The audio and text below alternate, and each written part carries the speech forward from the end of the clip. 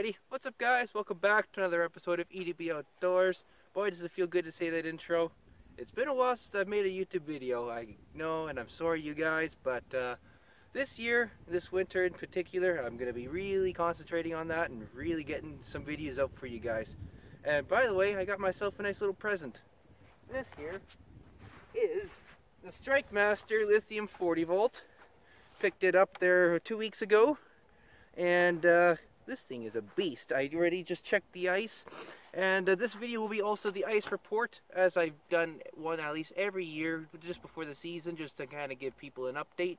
And although I say what the ice report is on the lake that I'm on right now, it's not like that for every other lake. So please be sure you check yeah, the safety when it comes to ice fishing or even just being on ice, because ice is never going to be the same as it ever is going to be. But want to test this out though. This thing just rocks. And right on the shore here, I'm maybe about, I don't know, about 50 yards offshore. And with the ice here,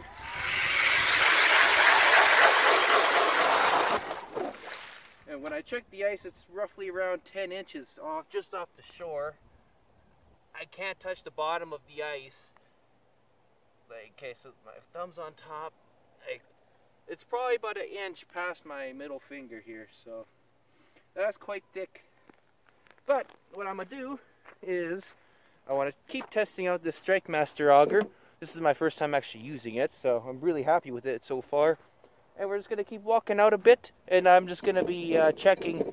I'm gonna be like doing like about two, three steps, drill a hole, another two, three steps, drill another hole, just to test this thing out, but also check the ice thickness because this weekend I'm going to be doing some ice fishing.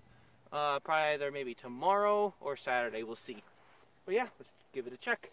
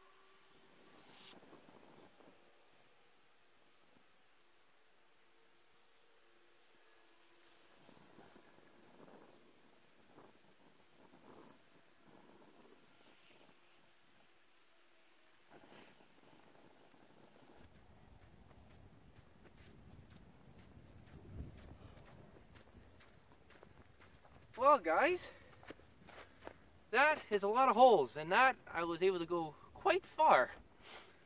Oh, I don't know how far that is, but for this auger, like this auger is actually incredible. How fast it drills, it's crazy.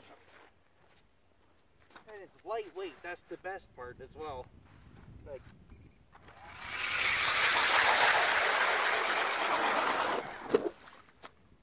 that was about almost 10 inches of ice in less than three, four seconds. And it's drilled. Almost my whole life I was run, running a hand auger. Nope, don't know how to do that no more. Woohoo! But anyways though, like I said you guys though, please check the ice before you go on the, out on the lake. And personally for me, uh, there's a lot of gutsy people out there and they'll go ice fishing at around two, three inches of ice. No thank you. But uh, my preferred is around between five to eight inches for starting ice fishing. So, and it's good black ice too, which is the most solid ice you can get. And uh, yeah, everybody stay safe. Make sure you wear wear your ice picks, uh, some kind of floating device on your on you, just in case if you do fall through. And uh, there's a few videos that I'll put as a, as a, in the link in the description down below. Uh, there's one video on uncut angling.